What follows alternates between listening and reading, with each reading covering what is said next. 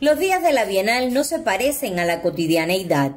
En la avenida del puerto de La Habana Vieja, una obra de arte explora la multiplicidad de relaciones que pueden existir entre la navegación, los sonidos y la escritura. Eh, son faros marítimos que tienen cada uno una codificación distinta, intensidad de luz, frecuencia de iluminación, colores.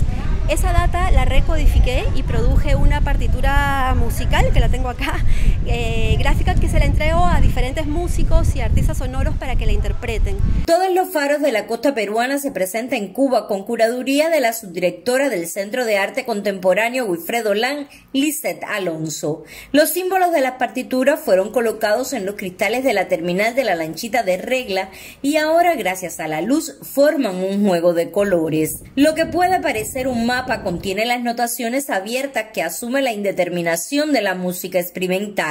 Eh, acá en la lanchita de regla lo que hemos hecho es una instalación en, los cristales de la lanchita eh, con partes, fragmentos de la partitura.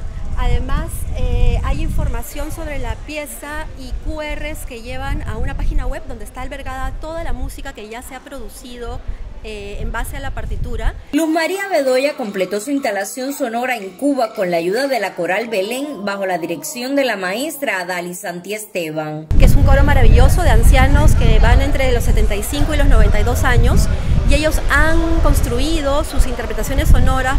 Luego de un estudio profundo de las partituras, la coral se presentó en concierto. He participado en la Bienal como espectadora, pero nunca como participante.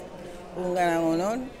Esto es una felicidad tan grande que a la edad de 78 años yo pueda participar en un evento tan grande y tan maravilloso como este. Todos los faros de la costa peruana es una de las múltiples propuestas de arte contemporáneo de la decimoquinta Bienal. Los elementos textuales, la visualidad y el sonido están en La Habana con horizontes compartidos. Jenny Fleites, Canal Cubano de Noticias.